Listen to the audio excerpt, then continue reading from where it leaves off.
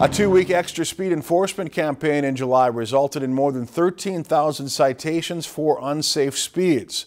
More than 300 law enforcement agencies took part in the extra enforcement from July 8th through the 22nd. During the campaign, 19 agencies reported speeds of 100 miles per hour or more.